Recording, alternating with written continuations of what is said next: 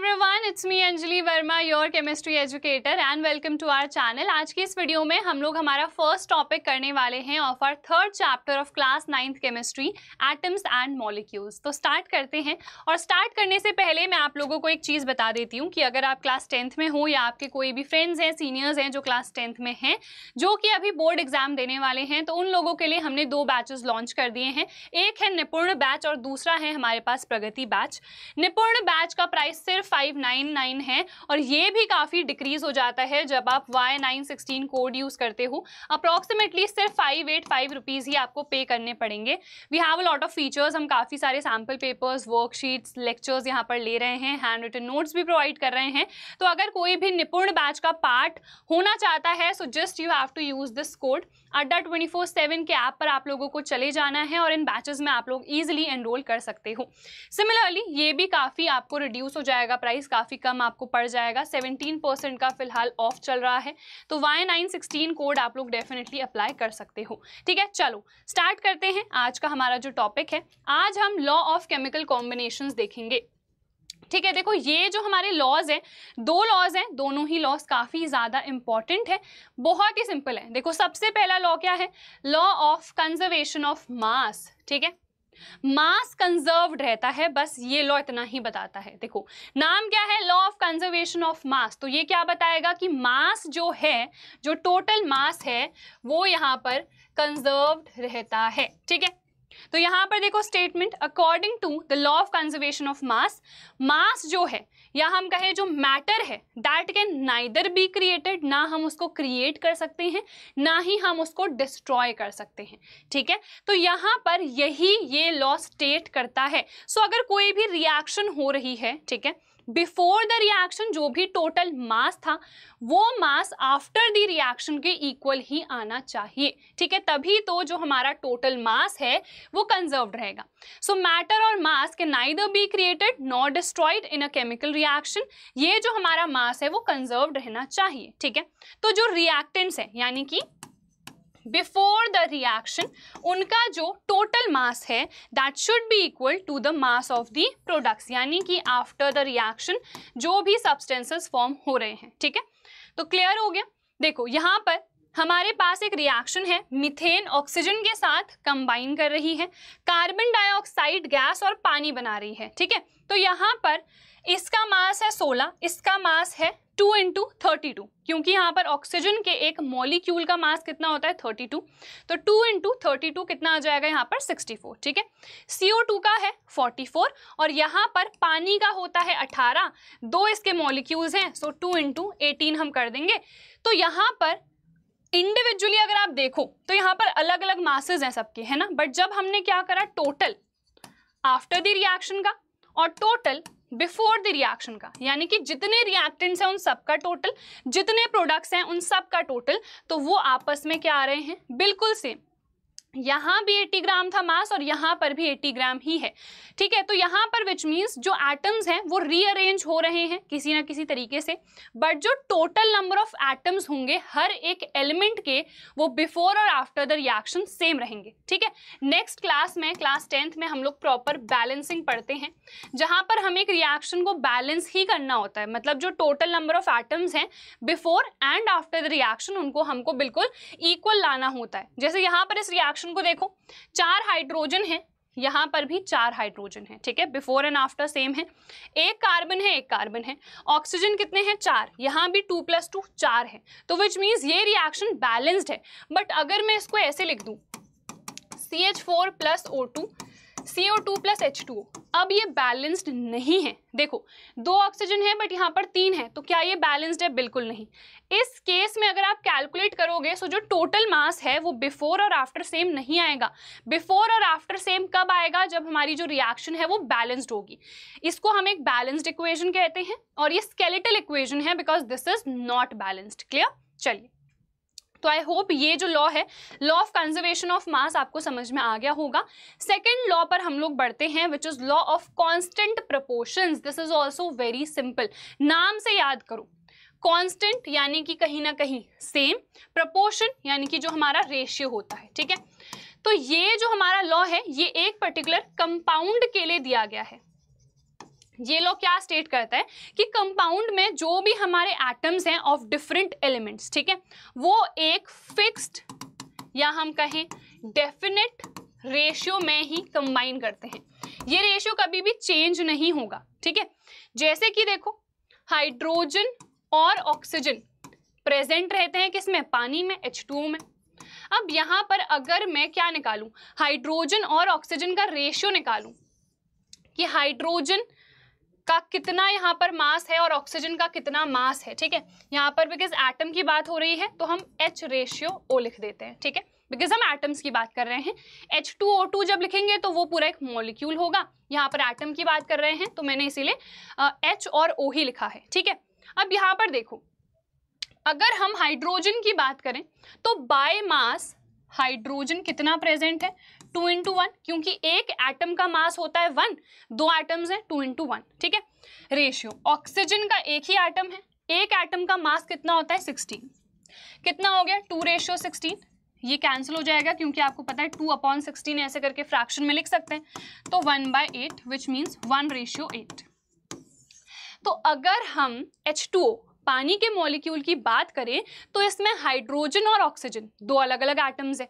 ये जो एटम्स हैं या ये जो एलिमेंट्स हैं, ये एक फिक्स्ड रेशियो में प्रेजेंट हैं बाय मास ठीक है, अभी हम जिस रेशियो की बात कर रहे हैं, वो बाय मास है। बाय वॉल्यूम भी होता है, वो हम बाद में देखेंगे। अभी हम बाय मास बात कर रहे हैं तो बाय मास जो हमारे एलिमेंट्स हैं, वो एक फिक्स्ड रेशियो में प्रेजेंट है which is one ratio eight ये रेशियो अगर चेंज हो गया one ratio nine one ratio ten two ratio nine उस केस में जो हमारे पास एच टू ओ है, वो फॉर्म नहीं होगा। तो ये जो रेशियो है ना, ये हमेशा क्या रहना चाहिए? सेम रहना चाहिए फिक्स रहना चाहिए कांस्टेंट रहना चाहिए, ठीक है? A pure chemical compound containing the same elements combined together in a fixed proportion यानी कि fixed ratio by mass is given by the law of definite proportions. For example, if we take water from a river or from an ocean, both have oxygen and hydrogen in the same proportion आप पानी कहीं से भी ले रहे हो, चाहे ocean से ले रहे हो रेन वाटर है, आप वेल से निकाल के ला रहे हो, या नाली का ही पानी क्यों ना हो, वो जो पानी का फॉर्मूला है, वो एच टू ओ ही रहेगा। और इसमें हाइड्रोजन और ऑक्सीजन जो है, वो एक फिक्स्ड रेशियो बाय मास में ही कंबाइंड रहेंगे, जो कि वन रेशियो एट है। ठीक है? तो ये लॉ क्या स्टेट करता है? This law states that any compound it can be derived from any source whatever the source be the elements they remain combined in a particular fixed ratio only this ratio this fixed ratio does not change ठीक है very simple अब देखो यहाँ पर देख लेते हैं हम यहाँ पर H2 टू प्लस ओ ये कंबाइन कर रहे हैं H2O बना रहे हैं एंड यहाँ पर हम आ, कोई भी नया क्यों ना रिएक्शन कर रहे हूँ जो हमारे पास मास है वो सेम रहेगा वन रेशियो एट इसको मैंने बेटर तरीके से आपको यहाँ पर एक्सप्लेन कर दिया कि आप रेशियो कैसे निकालोगे. यहाँ पर बस वही है आ, ये इन्होंने पूरी रिएक्शन करके दिखा दिया कि हाइड्रोजन और ऑक्सीजन कंबाइन कर रहे हैं एच बना रहे हैं. तो इस केस में इन्होंने मॉलिक्यूल के टर्म्स में शो करा है कि कैसे कॉम्बिनेशन हो रहा है और हमने यहाँ पर एटम्स के फॉर्म में देखा है. ठीक है? चलो. नेक्स्ट आ जाते हैं। इसी लॉ को हम प्राउस लॉ भी कहते हैं। तो चाहे एग्ज़ाम में लॉ ऑफ़ केमिकल कॉम्बिनेशन में लॉ ऑफ़ कांस्टेंट प्रपोर्शन पूछा जा रहा है या फिर प्राउस लॉ पूछा जा रहा है you have to mention this only ठीक है? The elements are present in chemical compounds in a predetermined mass ratio predetermined कह दो फिक्स्ड कह दो कॉन्स्टेंट कह दो। It's all the same thing ठीक है? The law of constant proportion is this the law of constant proportion is also known as the Proust law या फिर इसको लॉ ऑफ़ डेफिनेट प्रपोर्शन भी कहते हैं। डेफिनेट है मतलब फिक्सड है ऑब्वियसली कॉन्स्टेंट है, वो सेम है। कुछ भी कह सकते हो, कोई भी टर्मिनोलॉजी हो अल्टीमेटली मतलब यही होना चाहिए कि फिक्सड रेशियो प्रेजेंट रहेगा बाय मास किसी भी एक पर्टिकुलर कंपाउंड में उन एलिमेंट्स का। ठीक है? और ये एग्ज़ाम्पल मैंने बता दिया है हाइड्रोजन और ऑक्सीजन जो है, एक फिक्स रेशियो में ही प्रेजेंट रहेंगे, ठीक है? यहाँ पर एक्चुअल में पहले हाइड्रोजन लिखा होना चाहिए पहले इन्होंने ऑक्सीजन लिख दिया है। यहाँ पर से थोड़ा गलत इंटरप्रिटेशन भी हो सकता है कि ऑक्सीजन का एक पार्ट है और हाइड्रोजन का आठ। नहीं, जबकि हमें पता है हाइड्रोजन का जो है एक पार्ट है और ऑक्सीजन के आठ पार्ट्स है। So for instance the hydrogen and oxygen content in pure water is always one ratio eight ठीक है? ऑक्सीजन और हाइड्रोजन जब हम लिख रहे हैं तो ऑक्सीजन पहले आ जाएगा हाइड्रोजन बाद में आएगा तो ये रेशियो इस केस में आ जाएगा, ठीक है? चलिए जी। अब हम आ जाते हैं डाल्टन के एटॉमिक थ्योरी में। This is also very important और बहुत सिंपल है। सो so, डाल्टन ने क्या कहा था कि जो भी हमारे पास मैटर होता है वो बहुत ही छोटे छोटे टाइनी पार्टिकल्स टाइनी ब्लॉक से मिलकर बना होता है जिनको हम एटम्स कहते हैं। और ये फर्दर इनडिविजिबल होते हैं इनको हम और डिवाइड नहीं कर सकते हैं और ये इनडिस्ट्रक्टिबल है इनको हम डिस्ट्रॉय भी नहीं कर सकते हैं। So according to Dalton atomic theory atoms which are indestructible देखो डिस्ट्रॉय नहीं कर सकते हैं और ये इनडिविजिबल हैं। फर्दर और चीज़ों में डिवाइड नहीं हो सकते हैं। ये बिल्कुल हमारे, कह सकते हैं हम फंडामेंटल्स हैं। फंडामेंटल या फिर हम कहें बिल्डिंग ब्लॉक है, ठीक है? सबसे छोटा जो पार्ट है मैटर का, वो एटम ही है, ये इन्होंने कहा, ठीक है? Building blocks make up all the substances कोई भी सब्सटेंस की हम बात करें, किसी भी मैटर की बात करें तो उनमें जो सबसे छोटा उनका बिल्डिंग ब्लॉक है, वो क्या है? एटम है, ठीक है? Unlike other substances, which have atoms of different sizes and weights, in elements, atoms have all the same size and mass. अब आपको लग रहा होगा कि ये थोड़ी कॉम्प्लिकेटेड सी लाइन है बट बिल्कुल नहीं है। इसका सिंपल सा मतलब क्या है कि अगर मैं कोई भी एक पर्टिकुलर एलिमेंट ले रही हूँ एलिमेंट जैसे कि सोडियम एल्यूमिनियम जिंक कोई सा भी एलिमेंट आप ले सकते हो, ठीक है? इवन ऑक्सीजन हाइड्रोजन कोई भी एलिमेंट ले लो। इस एलिमेंट के अलग अलग एटम्स ले लो। ठीक है? जैसे कि ये एटम है सोडियम का, एक ये एटम है सोडियम का, एक ये एटम है सोडियम का। अब मुझे एक चीज़ बताओ, क्या इस एटम का मास अलग होगा? इस एटम का मास अलग होगा? इस एटम का मास अलग होगा या सेम होंगे? ऑब्वियसली आपका आंसर होगा कि ये सोडियम ही है तो इनका मास क्या होगा? सेम इनका साइज़ क्या होगा? Same so this is word this line is telling कि एक एलिमेंट के, किसी भी एक पर्टिकुलर एलिमेंट के, आप कितने भी अलग अलग एटम्स ले लो उनका जो साइज़ है, उनका जो मास है, वो हमेशा सेम आएगा। अब इनके कुछ ड्रॉबैक्स भी होते हैं, क्योंकि हम बाद में क्या पढ़ते हैं? आइसोटोप्स पढ़ते हैं आइसोबार्स पढ़ते हैं, है ना? तो वहाँ पर इनका थोड़ा सा ड्रॉबैक भी आता है बट वो हम बाद में डिस्कस करेंगे। अभी इनकी जो थ्योरी थी, जो चीज़ें इन्होंने कही थी, वो हम समझ लेते हैं कि एक जो एलिमेंट है उस एलिमेंट के अगर मैं अलग अलग एटम्स ले रही हूँ so in that case size और मास क्या रहेगा? सेम बट हाँ अगर अलग अलग एलिमेंट हो जाए, जैसे ये सोडियम है एलिमेंट ये एल्यूमिनियम है एलिमेंट इन दोनों का जो साइज़ है, जो मास है, वो क्या होगा? डिफरेंट होगा ऑब्वियसली तो ये चीज़ इन्होंने कही, ठीक है? चलिए। अब हम प्रॉपर पॉइंट्स में देख लेते हैं जो भी इनके पॉस्टुलेट्स थे। तो सबसे पहला तो हमने देख ही लिया है कि जो मैटर है, वो इनडिविजिबल पार्टिकल से मिलके बना है, जिनको हम एटम्स बोलते हैं, ठीक है? और ये हमारे क्या है? बिल्डिंग ब्लॉक्स हैं, किसी भी पर्टिकुलर सब्सटेंस या किसी भी पर्टिकुलर मैटर uh, के ठीक है? चलिए उसके बाद क्या है? The properties of all the atoms of a given element are the same ठीक है? क्योंकि हमारे पास जो एटम्स हैं एक ही एलिमेंट के उनका साइज़ मास सब क्या है? सेम है। This can also be stated as all the atoms of an element have identical mass और केमिकल प्रॉपर्टीज़ और उनका साइज़ अभी हमने जस्ट देखा। और जो अलग अलग एलिमेंट्स के एटम्स हैं, उनका अलग अलग मास होना चाहिए अलग अलग साइज़ होना चाहिए और अलग अलग केमिकल प्रॉपर्टीज़ होनी चाहिए। ये सेम वही चीज़ है जो अभी हमने यहाँ पर डिस्कस करी, ठीक है? चलो।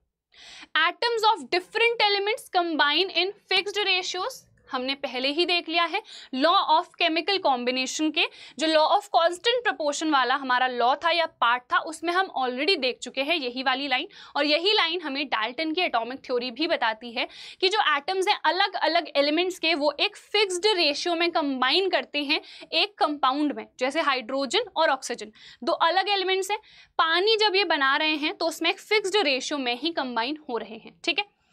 Atoms can neither be created nor destroyed again, ये पहला लॉ हो गया, law of conservation of mass, कि एटम्स को ना ही आप क्रिएट कर सकते हो, ना ही आप डिस्ट्रॉय कर सकते हो। जब हमारी कोई भी केमिकल रिएक्शन होती है तो वहाँ जो भी हमारे एटम्स हैं, उनमें रीअरेंजमेंट होता है, जिसकी वजह से नए प्रोडक्ट्स बनते हैं, नए सब्सटेंसेस बनते हैं।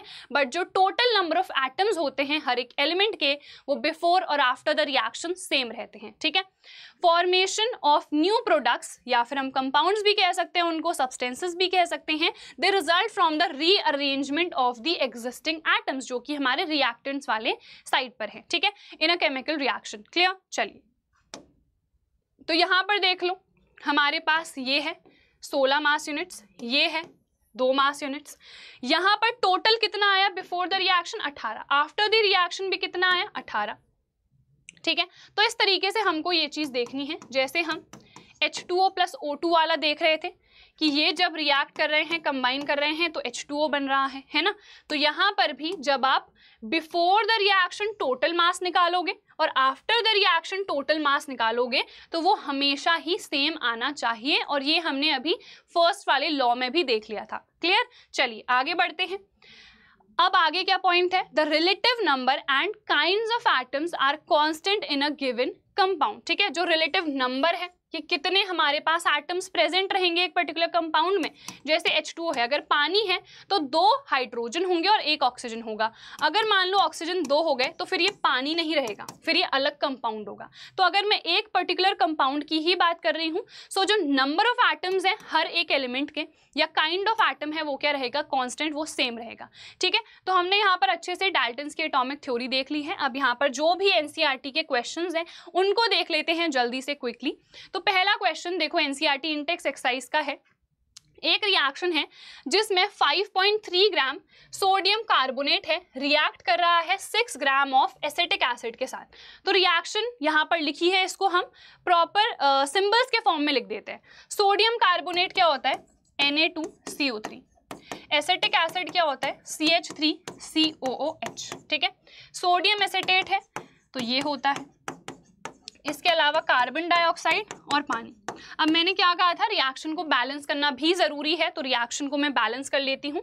तो यहाँ पर देखो, दो सोडियम है ना तो यहाँ पर भी टू आ जाएगा। फिर ये पूरे के भी दो हो चुके हैं यहाँ पर पार्ट तो यहाँ पर भी हम टू लिख देंगे। दिस रिएक्शन इज़ बैलेंस्ड अब जो बैलेंसिंग है, वो फ़िलहाल आपके सिलेबस में है नहीं।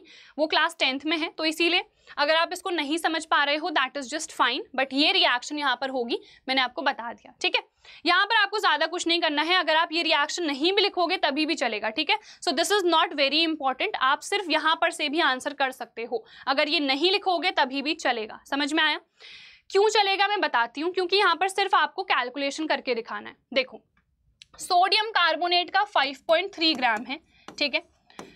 और एसिटिक एसिड का कितना गिवन है? 6 ग्राम सो so, अगर मैं रिएक्टेंट्स की बात करूँ है ना? So total mass of reactants कैसे आएगा? When I add both of these उसके बाद देखो प्रोडक्ट्स क्या है? तीन प्रोडक्ट्स हैं sodium acetate CO2 and H2O यानी कि वाटर तो ये तीन क्या है? प्रोडक्ट्स अब मैं क्या करूँगी? प्रोडक्ट्स का टोटल मास निकालूँगी।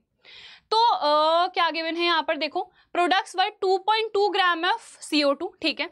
तो 2.2 ग्राम CO2 का हो गया। प्लस 8 अच्छा 0.9 वाटर भी है और 8.2 ग्राम है sodium acetate we have to show that these observation are in agreement with the law of conservation of mass है ना? हमें law of conservation of mass को क्या करना है? सेटिस्फाई कराना है कि बिफोर और आफ्टर द रिएक्शन जो टोटल मास है वो सेम आना चाहिए। तो बस क्या करोगे? बिफोर द रिएक्शन यानी कि रिएक्टेंट्स का टोटल ऐड कर लो। कितना आएगा टोटल इस साइड को? सिक्स ऐड कर दो इलेवन पॉइंट थ्री ग्राम हो जाएगा, ठीक है? ये बिफोर द रिएक्शन है रिएक्टेंट का। आफ्टर द रिएक्शन प्रोडक्ट का टोटल निकालो, कितना आएगा देखो? Eight point two zero point nine two point two ठीक है nine ten eleven twelve thirteen eight nine ten eleven कितना आ गया देखो यहाँ भी इलेवन पॉइंट थ्री ग्राम तो before the reaction after the reaction जो टोटल मास है वो सेम आ रहा है विच मीन्स जो टोटल मास है वो कंजर्व्ड रहता है। तो बस हमने प्रूफ कर दिया कि दिस इज़ एन एग्रीमेंट और in accordance with the law of conservation of mass चलो next question hydrogen and oxygen combine in the ratio of one ratio eight by mass, ये तो हमने ऑलरेडी देख लिया है। What mass of oxygen gas would be required to react completely with three gram of hydrogen gas देखो देखो, बहुत simple है। H2O में हाइड्रोजन और ऑक्सीजन का रेशियो कितना है? वन रेशियो एट, है ना? तो एक ग्राम हाइड्रोजन किसके साथ कंबाइन कर रहा है? आठ ग्राम ऑक्सीजन के साथ। हाइड्रोजन का मुझे कितना गिवन है अब? तीन ग्राम।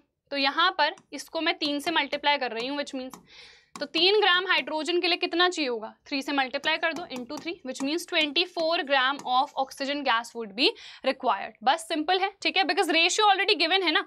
वन रेशियो एट तो अगर हमसे हाइड्रोजन नहीं हाइड्रोजन गैस का ऑलरेडी गिवन था मास हमें ऑक्सीजन का निकालना है तो मुझे क्या करना है? मल्टीप्लाई करना है। अगर ऑक्सीजन का गिवन रहता हाइड्रोजन का पूछा जाता तो आप डिवाइड कर देते थ्री से। तो बस इस तरीके से निकालना है, ठीक है? चलो। Which postulate of Dalton's atomic theory is the result of law of conservation of mass. इन्होंने भी तो यही कहा था ना कि हमारे पास बिफोर और आफ्टर द रिएक्शन जो हमारे पास टोटल मास है, वो सेम रहना चाहिए। एटम्स के neither be created nor be destroyed और यहाँ पर क्या होगा? रीअरेंजमेंट होगा। तो law of conservation of mass के अकॉर्डिंग ये वाला हमारा पॉस्टुलेट है। ठीक है? चलो, उसके बाद नेक्स्ट क्वेश्चन और ये आखिरी क्वेश्चन है। Which postulate of Dalton's atomic theory can explain the law of definite proportions? तो यहाँ पर इन्होंने भी तो यही कहा था ना कि कंपाउंड में हमारे पास फिक्स्ड रेशियो में ही जुड़ने चाहिए एलिमेंट्स तो ये वाला जो पॉस्टुलेट है, ये एक्सप्लेन करता है लॉ ऑफ़ कांस्टेंट प्रपोर्शंस को, ठीक है? तो यहाँ पर सारे क्वेश्चन हमने कर लिए हैं और properly law of chemical combination को भी समझा। डाल्टन की एटॉमिक थ्योरी भी देखी। तो आई होप यार ये जो टॉपिक है आपका अच्छे से क्लियर हो गया होगा। ऐसे ही जितने भी टॉपिक्स हैं, उन सब की मैं वीडियो बनाने वाली हूँ। तो डेफिनेटली लाइक कर देना शेयर कर देना अपने दोस्तों के साथ। And subscribe to our channel हम लोग मिलेंगे हमारी नेक्स्ट वीडियो में। तब तक अपना ख्याल रखना। ऑल द वेरी बेस्ट और नेक्स्ट वीडियो में मिलेंगे। ठीक है? चलो बाय